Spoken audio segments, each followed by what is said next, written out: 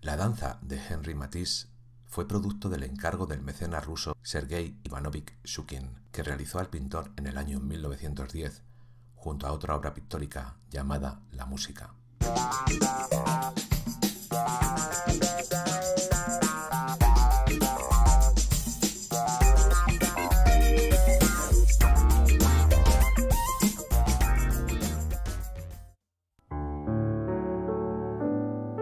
Sergei Chukin, gracias a su fortuna y a su noble afición al arte, se convirtió en coleccionista, principalmente de pintores impresionistas y posimpresionistas, tras realizar un viaje a París en el año 1897, fecha en la que adquirió el primer cuadro de Monet. Posteriormente compró numerosas obras de otros pintores que aún no estaban de moda, como Paul Cézanne, Vincent van Gogh y Paul Gauguin. Las obras de estos pintores decoraban las paredes de su casa palacio en Moscú, el Palacio Trubetskoy, que llegó a atesorar una colección nada desdeñable de 250 obras, que tras la Revolución rusa, el gobierno bolchevique se apropió mediante un decreto firmado por el llamado Consejo de Comisarios del Pueblo, firmado por Lenin un lejano 8 de noviembre de 1918, un año después de comenzada la Revolución, mientras que al mecenas solo le quedó la opción del exilio, huyendo sin más remedio a París. Producto de esta afición, Shukin encargó, como apuntaba al principio, a Henry Matisse la elaboración de un cuadro que decorara el hueco de la escalera de su palacio. En un primer momento, Shukin se opuso al planteamiento que le propuso Matisse, cuando le mostró un boceto en acuarelas de las figuras que compondrían el cuadro desnudas. Shukin no veía con buenos ojos mostrar cuerpos desnudos en un espacio público y le pidió que vistiera esas figuras. Pero el carácter y el sentido artístico de Matisse se opuso a tal medida e intentó convencer por todos los medios a Shukin de que la obra debía ser como él la planteaba. Así las cosas, la danza fue expuesta en el Salón d'Atom de París en el año 1910, recibiendo numerosas y malas críticas que llegaron a acusar a Matisse de ser un enfermo mental. Como consecuencia de este hecho, Shukin canceló el encargo en un primer momento, aunque pocos días después cambió de opinión, solicitándole a Matisse que terminara la obra que se colgaría para mayor gloria en el lugar que tenía pensado. Se piensa que la idea de Matisse de pintar este cuadro proviene del momento en el que el pintor observó a unos pescadores, se cree que en una playa al sur de Francia, bailando una especie de sardana.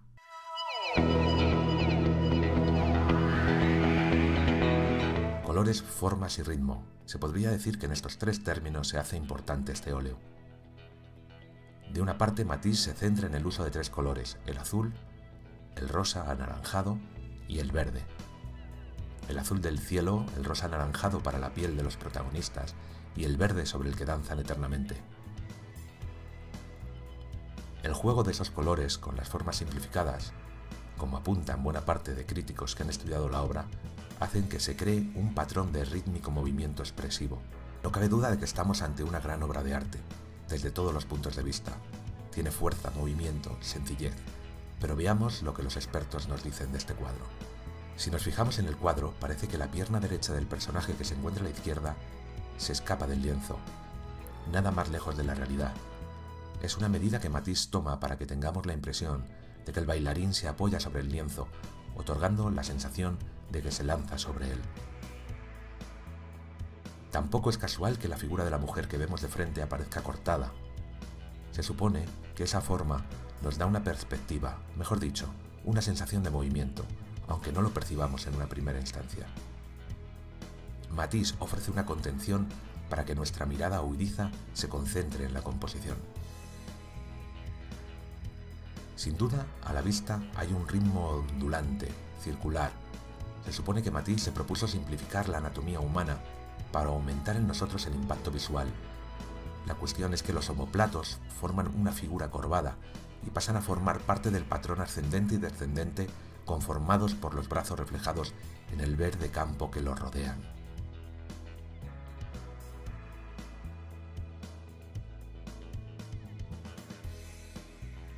Como vemos en este detalle, las manos de dos bailarines parece que acaban de soltarse eso nos da una idea del desenfreno del baile, de la rapidez inusitada. Algunos críticos han comparado esta imagen con la de la creación de Miguel Ángel, Dios y Adán a punto de darse la mano o decirse adiós. En cualquier caso, el movimiento, la intensidad de alborozo y expresión sublime existe en este cuadro quieto sobre el óleo desde 1910, La danza de Matisse.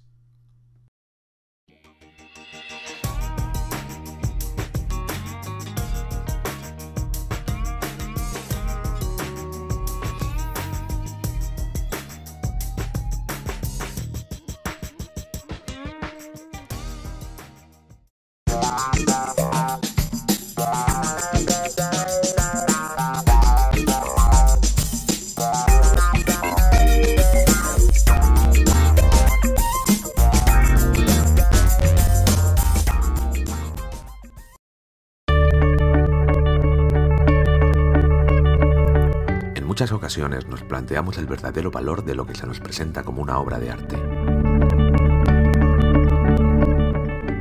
Historia de Nocturno en negro y oro, el cohete cayendo, el cuadro de James McNeil Whistler es un claro ejemplo de ello.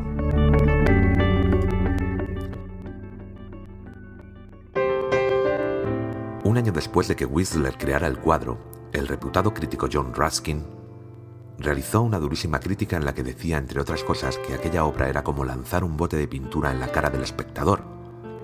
El oprobio caló en la figura del artista, que optó por demandarle judicialmente. Durante el proceso, Whistler indicó que la pintura no era una obra descriptiva, sino un arreglo artístico de su tema. El pintor, al demandar al crítico, no solo lanzó un órdago a la crítica de su obra, realizada por una eminencia del momento, sino que planteó un hecho nunca antes visto y que difícilmente hoy podríamos ver. Enfrentar en un tribunal de justicia el verdadero sentido del arte. Whistler ganó el juicio, pero recibió un fuerte varapalo. El juez condenó al crítico al pago de un cuarto de penique por daños y perjuicios. Lo que es lo mismo, condenó al crítico a pagar una moneda de escaso valor por el honor de su alma de artista. Whistler era un pintor minucioso. Los puntos de color de ese cohete que impacta en el horizonte no están realizados al azar, ni las figuras que acompañan la acción. La crítica ha apuntado que la coloración del cuadro capta el momento, el movimiento y la emoción, algo en lo que Raskin, como muchos otros, no parecen estar de acuerdo.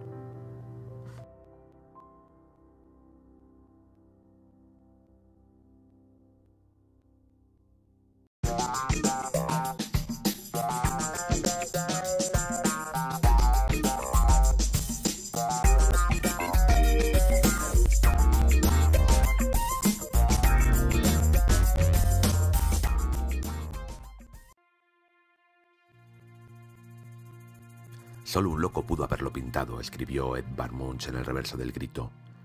La explicación del propio artista al cuadro es la siguiente. Estaba enfermo y cansado y me quedé mirando el fiordo. El sol estaba poniéndose, las nubes estaban teñidas de rojo, como la sangre, y de pronto sentí como si un chillido atravesara la naturaleza. Creí oír un alarido. Pinté esa imagen, pinté las nubes como sangre de verdad. Los colores estaban chillando. A partir de esta explicación, algunos críticos como Robert Hughes han considerado que el personaje del óleo es el propio Munch, aunque no se parezca en nada. El rostro, inundado de pavor, sobre el fondo del cielo mostrando el ocaso, y dos figuras lejanas y ajenas que ni pueden escuchar el grito ni ver la impresión retorcida por el miedo, crean, en fin, una de las escenas que se han catalogado como más siniestras de la historia del arte.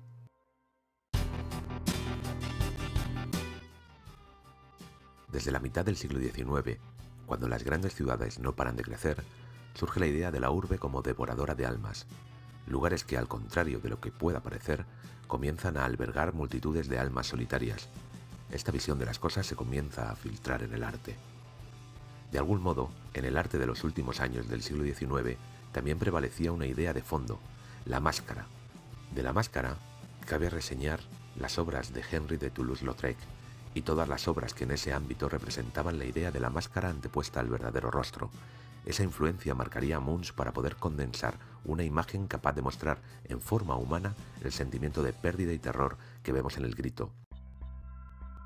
Pero aún hay más, pues la arqueología también le serviría de inspiración. En el París de la época, visitada por Munch, estaba cobrando relevancia la presencia y el estudio de las culturas precolombinas. Las culturas sudamericanas despertaron la curiosidad de multitud de artistas. Concretando este hecho, hay que dirigir la vista a una de las atracciones de la Gran Exposición Universal de París de 1889, la misma que fundó la Torre Eiffel. Se trataba de una momia inca-inca de Perú. Como podemos ver en la imagen, recuerda de forma inequívoca al rostro del grito. Dicha momia serviría también de inspiración a Paul Gauguin, quien la incorporó en algunas de sus obras representando a la muerte. La momia en cuestión, que se ha podido contemplar en el Museo del Hombre de París, se halló enterrada en posición fetal y sirvió a Munch, no cabe duda, para describir la representación más vivida de la neurosis occidental.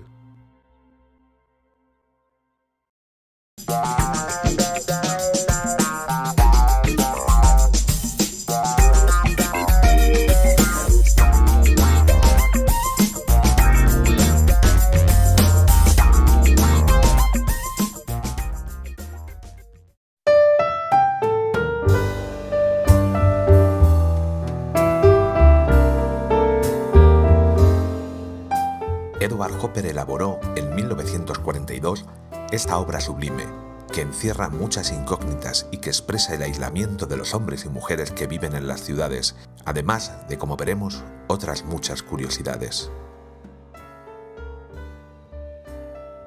La crítica, de forma unánime, ha interpretado que lo que trataba de expresar o evocar Edward Hopper era la profunda sensación de alienación de los seres humanos que viven en la ciudad, durante los años 40 del siglo XX, la sociedad que había abandonado décadas atrás la vida rural, instalándose en las grandes urbes, encuentra un nuevo modelo de comportamiento interrelacional.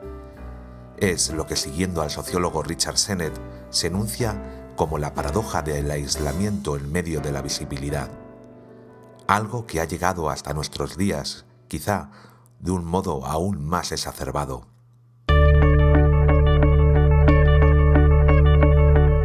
Sobre la pareja se nos plantea una duda fundamental. Por la posición, bien pudiera parecer que se conocen y comparten ese momento, sobre todo por la perspectiva de sus manos casi juntas, pero esa circunstancia bien puede deberse a la propia perspectiva que el autor nos quiere mostrar. Su expresión corporal, por otra parte, podría hacernos saber que son perfectos desconocidos. Sus rostros parecen comunicar que están sumidos en pensamientos propios, el color rojo del vestido y del cabello de la mujer ofrecen un contrapunto a la imagen, llamando nuestra atención desde un primer momento. El camarero, que ofrece acción al cuadro con su posición encorvada y que parece que en cualquier momento se va a levantar, es un mero espectador de la imagen, también ajeno a los pensamientos o comportamientos de sus clientes. Justo detrás de él vemos dos recipientes metálicos. Algunos críticos le han dado tanta importancia a dichos recipientes por su luminosidad y brillo que se habla de que son dos personajes más del cuadro, que además hacen de contrapunto a la pareja, en realidad los verdaderos protagonistas de la acción. El tercer cliente de Noctámbulos, el que a primera vista pasa más desapercibido, en realidad es un personaje imprescindible. El hecho de que se sitúe de espaldas le confiere un aire más enigmático, sumido entre luces y sombras y también amparado bajo el sombrero se habla de que esta figura ofrece sensación de autocontención e impenetrabilidad al óleo. Pero además, si nos fijamos, en la cafetería no es visible la puerta de entrada al local, algo que confiere una sensación mayor de aislamiento, como si los personajes de algún modo estuvieran encerrados. La luminosidad de la luz interior de la cafetería contrasta notablemente con la oscuridad que reina fuera del establecimiento. En este sentido, Hopper logra establecer técnicamente la diferencia de luces y sombras que tanto nos recuerdan a la fotografía del cine negro norteamericano de la época. Si nos fijamos, en la tienda situada frente a la cafetería solo podemos ver una máquina registradora. El resto son juegos de luces claras y oscuridad silenciosa.